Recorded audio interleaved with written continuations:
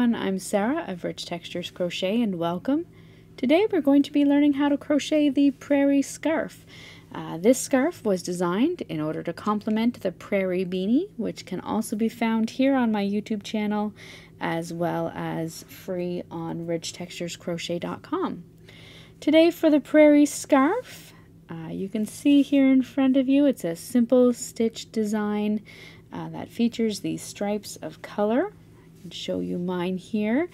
The end fringe is just some simple front and back post double crochet stitches and that's going to give you a nice edging to each side of your scarf.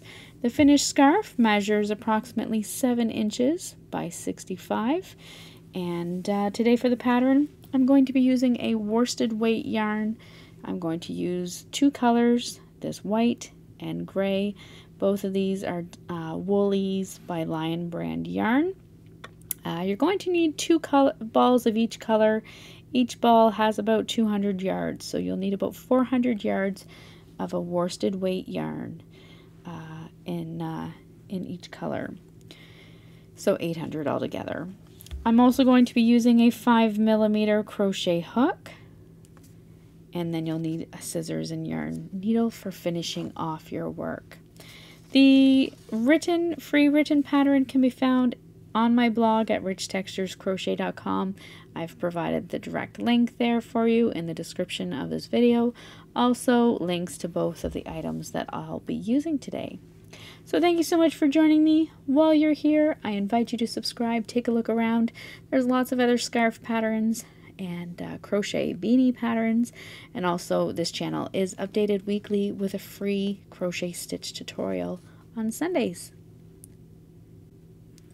Our pattern today is worked in rows. So you're going to start by taking your color A, I'm going to use this gray here, and make a slip knot. I'm going to start with the foundation chain of 31 chain stitches if you would like to change the size of your scarf, you'll work an even number of chains plus three for your turning chain. So today I am uh, working 31 chains.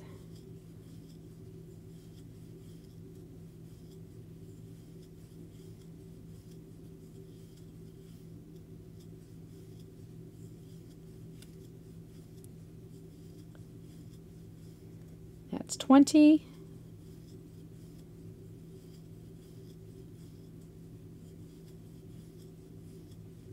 Thirty and thirty-one. Once you have your foundation chain worked, sorry I hit the camera there.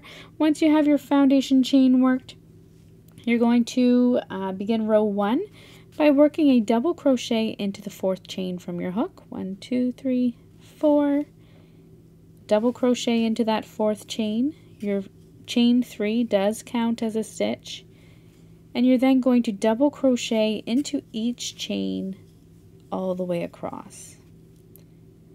When you come to the end, you can chain two and turn your work.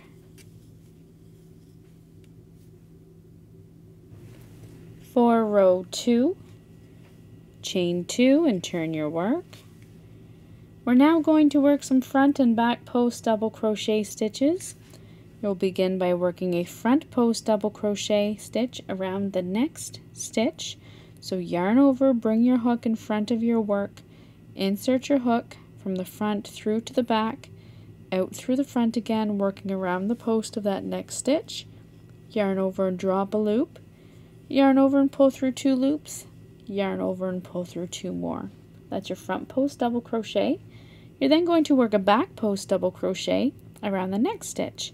So yarn over, insert your hook, uh, bring your hook in back of your work, insert your hook from the back through to the front, around the post, out through the back again, yarn over, draw up a loop, yarn over and pull through two, and yarn over and pull through two.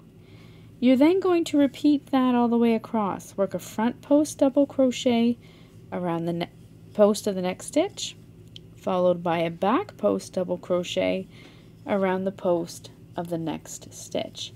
Repeat it all the way across to the final stitch which is your starting chain 3 and then work a double crochet into the top of that starting chain three.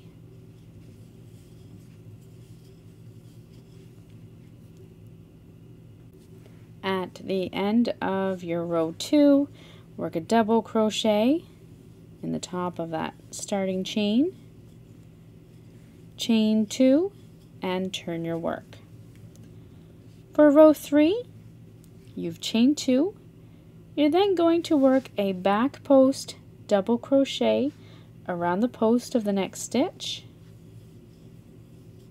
followed by a front post double crochet around the post of the next stitch. Repeat that all the way across. Back post, double crochet around the post of the next stitch, followed by a front post double crochet around the next. Repeat it all the way across and then finish off with a double crochet into the top of your starting chain 2.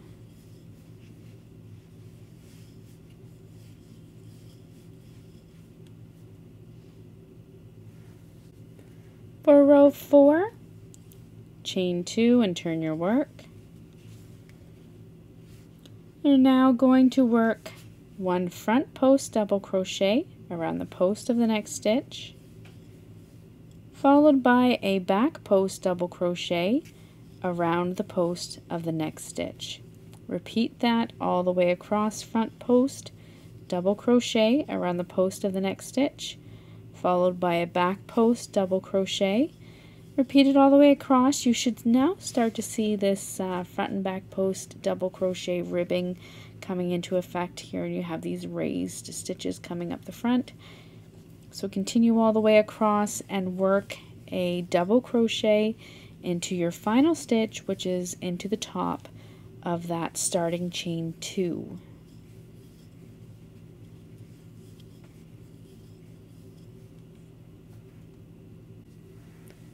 For row five, we're going to chain one and turn our work.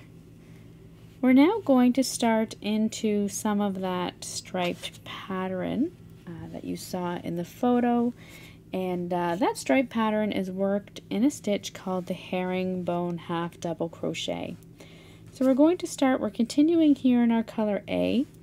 We're going to work our first herringbone stitch into the first stitch at the base of our turning chain.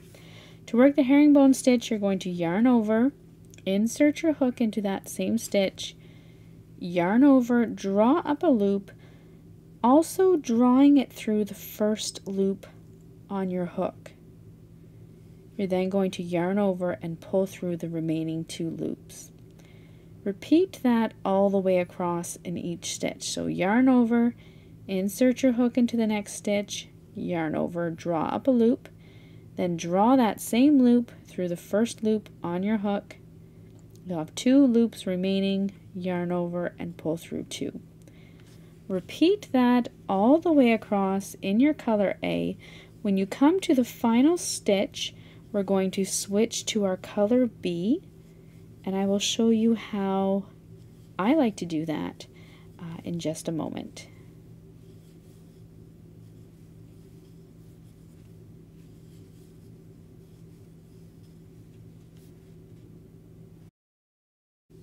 I'm now at the end of my row 5 and I want to switch to my color B. So I'm going to yarn over, I'm still working in the color A, insert your hook into uh, that final stitch. Actually, I see I have one extra stitch here. So I'm going to work that final one. So now I need to switch uh, at the top here of my chain two. So I'm going to yarn over with my color A, insert your hook into the top of that chain two, yarn over and draw up a loop still in your color A and draw it through the first loop on your hook. You can then drop your color A and uh, I found with the flow of my scarf, because I didn't put an edging all the way around, at the end of each color change in this pattern, I do fasten off and weave in my ends, just so you're aware of that as we go. So drop that color A, pick up your color B, place it on your hook, and pull through. You're now ready to go with your color B and uh, and work the next rows. So um, you can then chain one and turn your work. Now to make it easier uh, to fa uh, fasten off and weave in your ends, what I recommend doing in this scarf is working over top of your ends so that you can simply trim them uh, at the end of your project. So we're now going to work two rows of herringbone stitch in our color B. So yarn over, insert your hook into that first stitch. I'm working over top of and around those two tails. Yarn over, draw up a loop and draw it through that first loop on your hook, yarn over and pull through two. Repeat that all the way across and for about six or seven stitches is uh, for as uh, how long I like to kind of work over top of the two tails. You're just going to continue working your herringbone half double crochet all the way across and this is for your row six. So just continue working. I'll work a few more. Once you feel that uh, you've worked over the ends enough, you can stop working over top of them. And then either right now or later on, you can just go ahead and trim them. And uh, that'll save you having to weave them in later on. And then just continue working your row of herringbone stitch. So you want to work two rows in this color A, so herringbone, all the way across, chain one, turn your work, work the herringbone stitch all the way across for row seven, and in that final stitch, switch back to your color A. At the end of your row seven, you're going to switch back. So I've worked two rows in the herringbone stitch in color B switch back to your color A using the same method as before. Chain one and turn your work. You're now going to work for rows 8 and 9, two more rows of herringbone stitch in your color A. Again, I recommend working over top of those two little tails so that you don't have to weave them in later on. So you're going to chain one and uh, remember your chain one does not count as a stitch. It's just your turning chain. So work your herringbone stitches all the way across. You want two rows in your color A and then you're going to switch back to your color B. Then for um, uh, for the next part of the pattern, uh, you're going to continue working two rows of herringbone stitch in each of your colors, alternating back and forth as uh, I've done here between your colors A and your colors B. So you're going to want two rows in each color alternating back and forth and you're going to continue to do that so repeating those rows 6 through to 9 until your work from the beginning measures approximately 62 inches.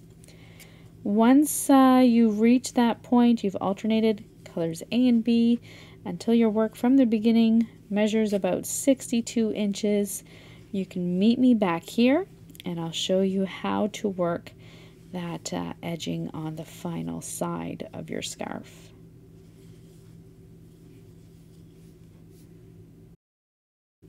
Now once you've alternated back and forth uh, until your work measures approximately 62 inches, uh, I'm not going to do the full length here in the video, uh, but you can see I've gone back and forth. So yours will measure 62 inches.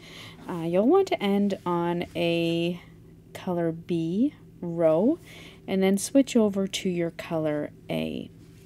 Then in color A, you're going to work one row of the herringbone stitch. So Uh, you're not working two as you did before, just in this final row before we start the edging, we'll just work one row in that herringbone stitch. So I'm just going to stitch across.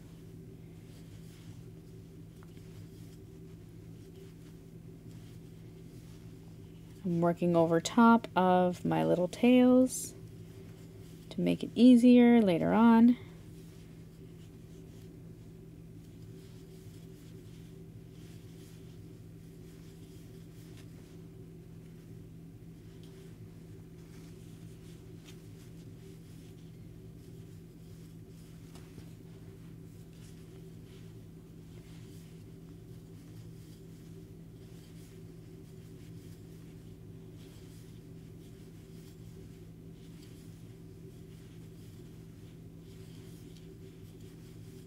And this will be our final row in the color A before we work our front and back post double crochets.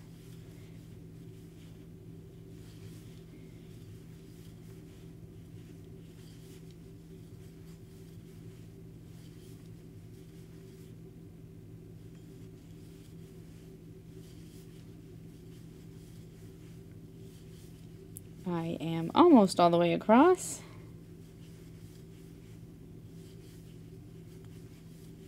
Just a few stitches left.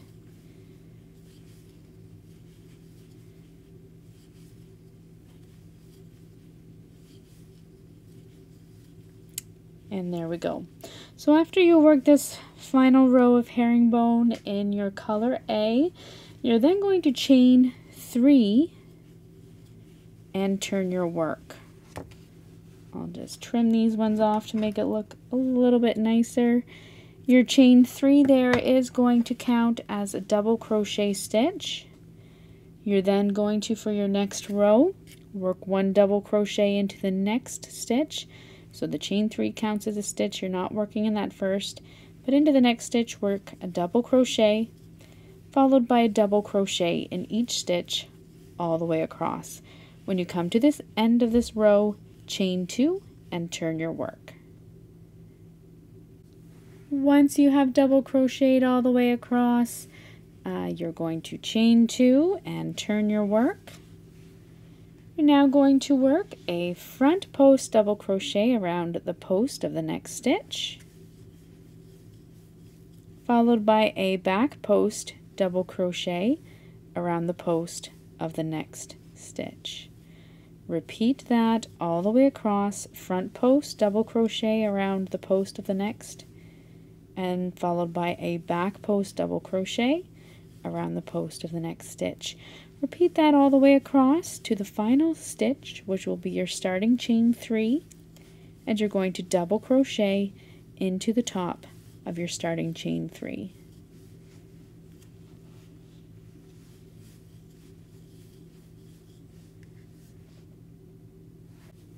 For your next row, chain two and turn your work. We're now going to begin by working a back post double crochet around the post of the next stitch,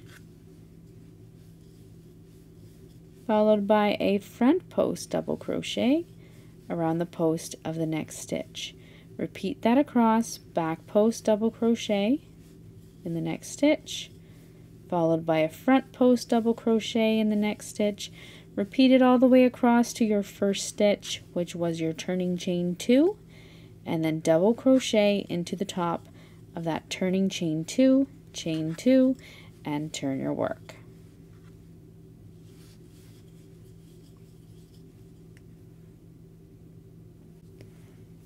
At the end of that row, you're going to chain 2 and turn your work.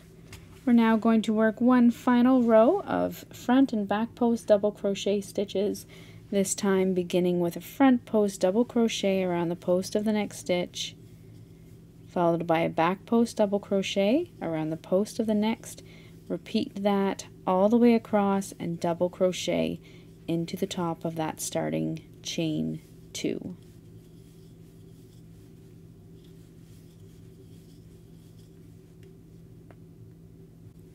I am at the end of my final row here working the double crochet into the top of my chain two.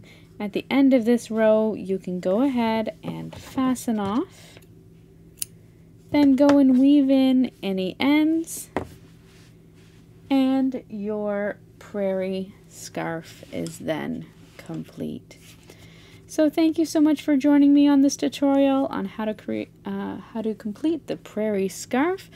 Uh, once again, I invite you to subscribe, and if you happen to finish this scarf and post a photo on social media, I would love to see it because I love to see all your finished product projects. So thank you so much for joining me, and uh, I look forward to seeing you again soon. Until then, happy crocheting. Bye.